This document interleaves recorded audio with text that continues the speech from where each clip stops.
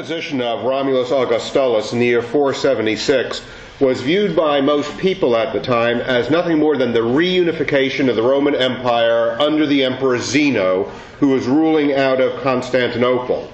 The Hunnic general who deposed the young Romulus Augustulus by the name of Odoacer ruled in the name of Zeno, minted coins with Zeno's inscription and image on them, and ruled with a title given to him by the emperor in Constantinople. The coins minted at the time had the inscription on them, Invicta Roma Aeterna, the unconquered eternal Rome. And the poets of the time, like Claudian, Symmachus, Macrobius, all talked about the undying, undefeatable Roman Empire.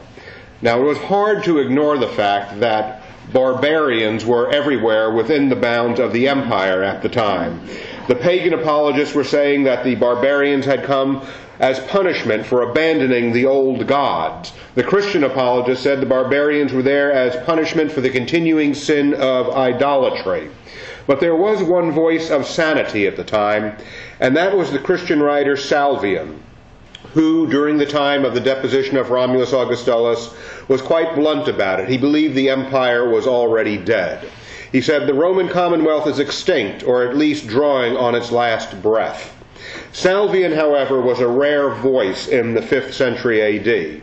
Now, there were numerous authors who were blaming specific emperors for specific bad decisions, but the deposition of Romulus Augustulus was probably looked upon at the time as a non event. It made little difference in Constantinople who ruled in the West, neither did it amongst the Germans who were traversing all over the western part of the empire. And as far as the Romans were concerned, what difference here? Another barbarian general has taken imperial Roman government into his own hands. There's a good possibility that in the year 476, nobody had realized that the empire had fallen.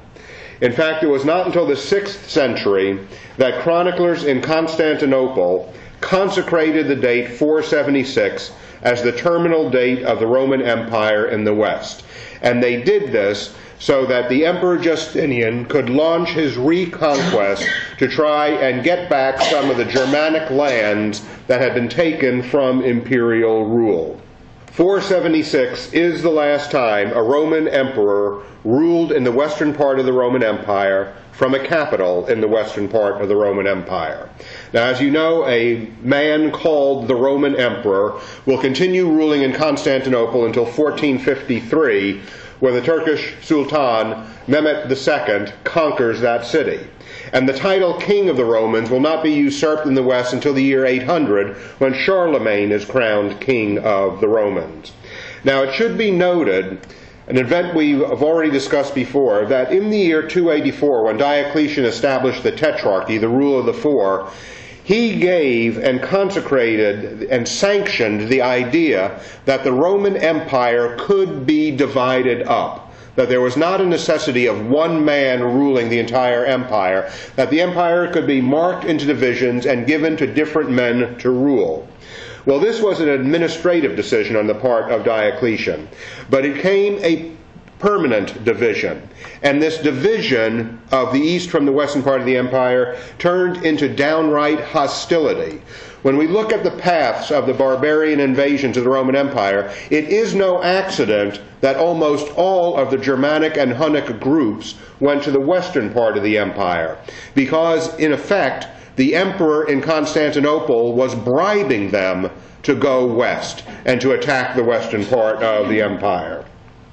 So, in essence, the history of Rome since 284 AD was joint rule in a divided empire. And remember, on the last page of your brochure, you have the list of the joint and single emperors ruling over the empire. Well, in lieu of a united empire, what survived was the myth of Rome, the idea of Romanitas, that the Christian monk Bede so eloquently expressed in the year 700 that the empire was still standing. We should look at the date 476 as the final aria in the opera of the dissolution of Roman governmental authority in the West.